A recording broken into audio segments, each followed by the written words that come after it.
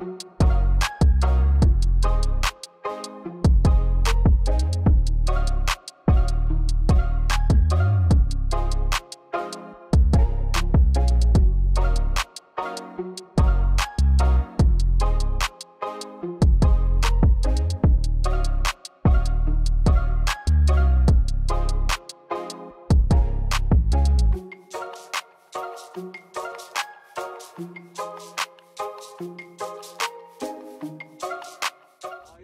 제가 그 경제적으로 되게 어려웠던 시기가 있었어요. 3년 전에 그 미스트로 프로그램을 우연히 퇴근해서 다시 보기로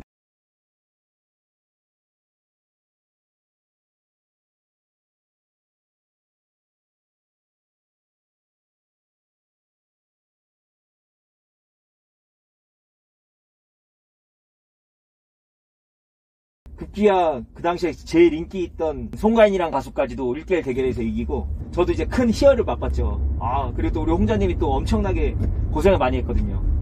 중학교 때 부모님이 사업이 또 안 돼가지고 여러 가지로 어려운 시기에 있었는데 그걸 다 이겨냈단 말이죠. 막 이사도 지금까지 40번 넘게 다녔어요. 집안이 어려워서. 근데 그런 걸 다 이겨내고 또 어머니와 여동생, 오빠가 또 다 도와주시고 가족들이. 근데 그런 것들이 다 이뻐 보였죠. 뭐 하여튼 전반적으로. 어, 대부분 놀라시고 재밌어 하시죠. 그리고 제가 또 습관이 된 게 있어요.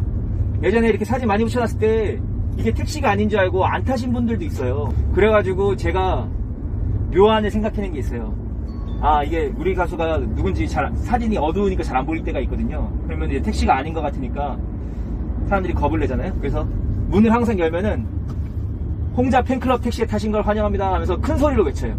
위화감을 좀 없애주죠. 그리고 홍자는 가수입니다. 이 말을 꼭 하고. 손님들로 하여금 어떤 어리둥절한 것을 즐거움으로 승화시키는 거죠, 이제. 홍자라는 가수가 있고, 팬인데 이렇게까지 하는구나 하면서 이제 호기심도 불러일으키고요. 또 동시에 이제 바로 제가 또 우리 홍자님 신곡을 틀어드리죠. 이런 신곡도 있습니다 하고. 손님들한테 선물도 주고, 이게 보면 우리 홍자님 명함도 있거든요. 네, 제가 이렇게 명함도 만들어서 드리고요. 마스크도 같이 드리고 있어요, 이렇게. 오늘 또 팬클럽에서 또 후원해 주셨어요, 우리 회장님이. 네, 하나 받으세요. 네.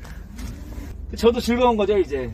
제가 택시를 6년 했는데, 앞에 3년은 그냥 흔해 빠진 택시 기사들처럼 했고, 뒤에 3년은 우리 홍자님을 알게 돼가지고, 홍보를 하면서 택시를 하게 됐단 말이에요. 그러면 생각해봤을 때 어떤 게 낫냐?